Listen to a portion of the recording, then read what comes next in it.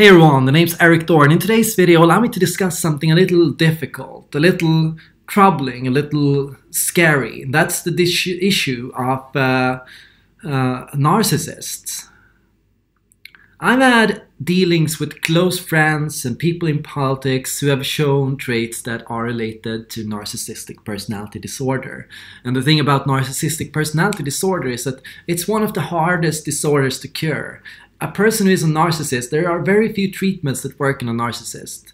Uh, even if you know you are a narcissist, it might be hard to actually uh, find a therapy form that can work to fix the narcissist's issues. Often, uh, what people have found is that narcissists are not people who have uh, un- unusually high self esteem. On the contrary, narcissists struggle with an extremely low self confidence. They are, to a high extent, really uh, scared about their flaws and their issues. They are really aware of their issues, but they are working actively to hide these issues from other people. And and this is the difficult part. This is why narcissists can uh, be deeply problematic and can cause deep harm in society. They are ready to invoke guilt trips and harassment and all kinds of techniques to make other people feel bad or guilty, uh, to make other people control other people. Uh, the narcissist differentiates themselves from normal people in that for them, guilt trips and uh, gaslighting and other treatments uh, are a normal part of communication, an acceptable part of communication. It's acceptable to make another person feel guilty. Truth is, most of us feel icky about making other people feel guilty. Most of us are so concerned about uh, not just how we are feeling, but how other people are impacted.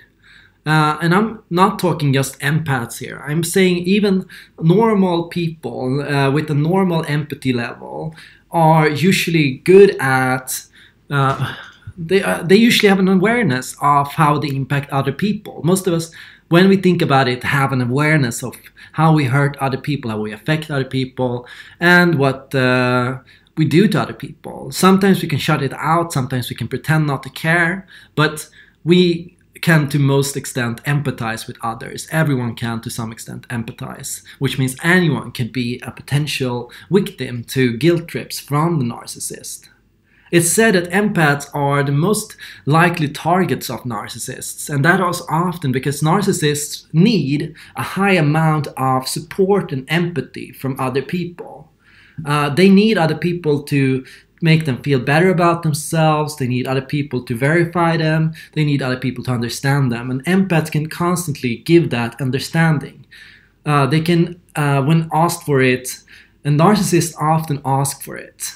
Narcissists tend to ask for support, sympathy, and love from other people. They tend to not just ask for it, but they also tend to demand it. And they tend to become angry or aggravated when other people refuse to give any form of empathy at any point of time if you don't answer, if you are avoiding them, or if you at a certain point uh, say nothing, they may resort to getting angry, they may guilt you for not saying anything, and they might force you to give sympathy. And this is also where people talk about covert narcissists, because not all narcissists revolve around aggressive harassment techniques.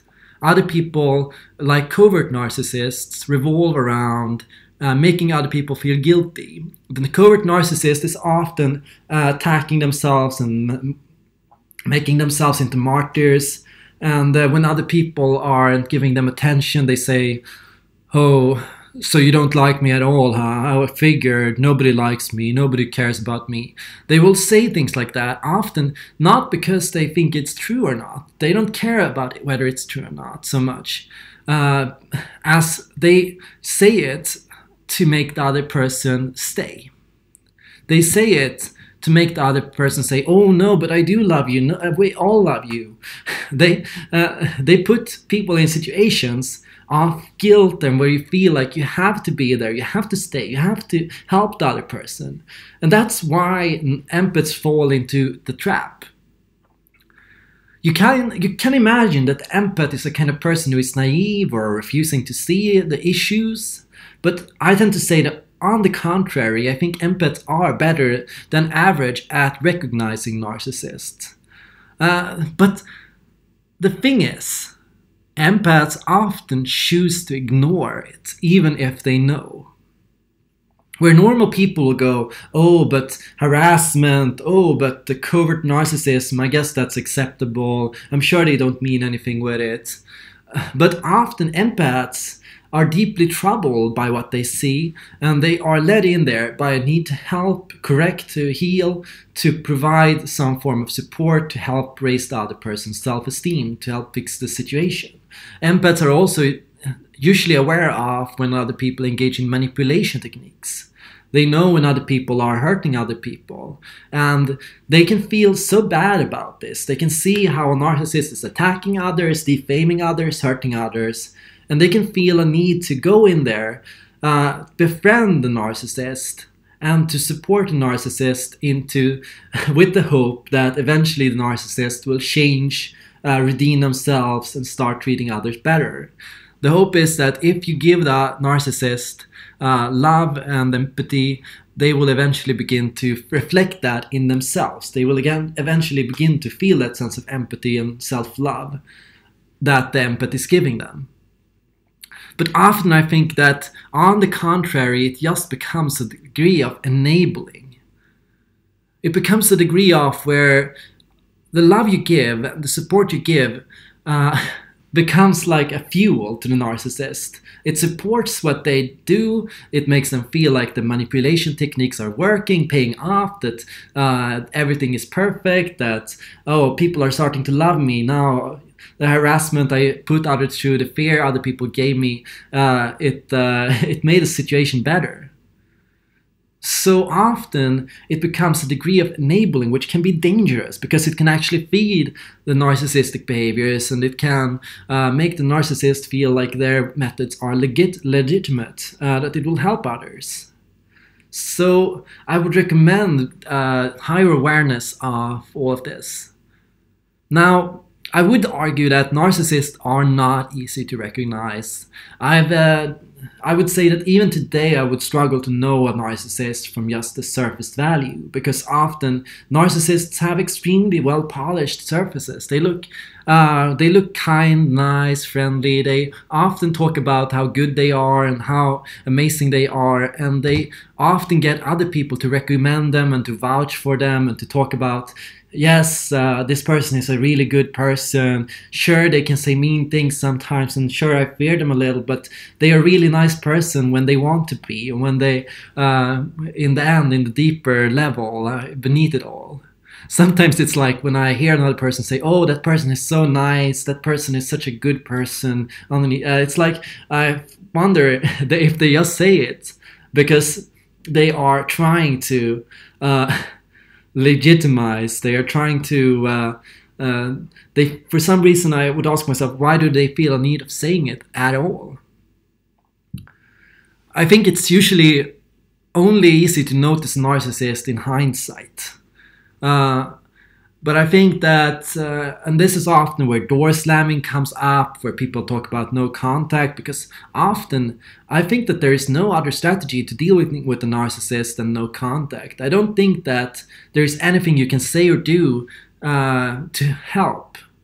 Often, I think anything you say or do actually can be reinterpreted, and this is why narcissism can't be treated. Because the narcissist is so uh, focused on making everything they hear about themselves. It's re- everything they hear is reinterpreted to verify what they think and what they believe and what they see is right no matter if it is or not. Uh, the narcissist who talks to a psychologist, who talks to other people, is constantly changing the words inside themselves and reinterpreting the situation to a way that supports their narcissism, that supports their uh, worldview uh, and how they see themselves and how they see other people. Often, it, that's that's why it's hard to reason with a narcissist. It's uh, often that they have their own shape and form of reason, which is uh, unusual to normal people.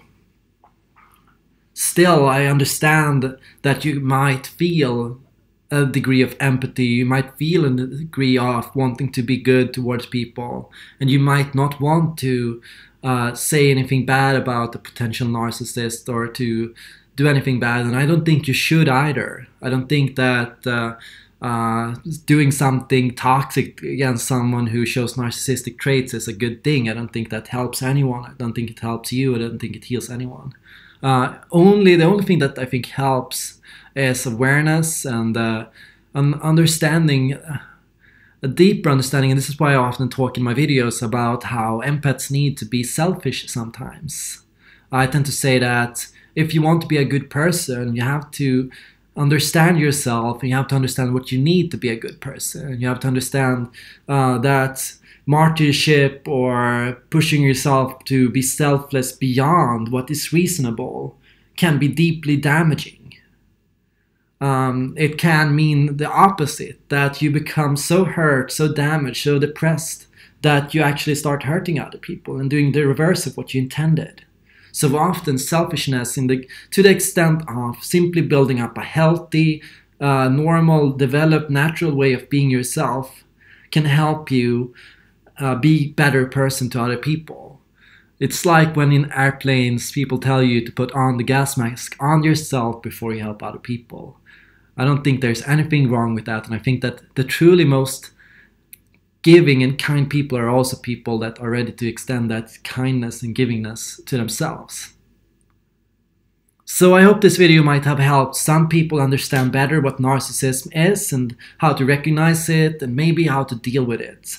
I strongly emphasize once again, no contact is probably one of the best strategies. Uh, not responding to guilt extortion techniques, uh, making sure that you uh, empathize, sure, but also empathize with yourself and also understand that you're not responsible for another person. You're not responsible for their help happiness or to fix them. Um, you can help other people but you don't you are not responsible to do it. And you should not feel guilty if you don't want to do it. That's all for now. I hope you all enjoyed this video. And as always i hope to see you guys in the next one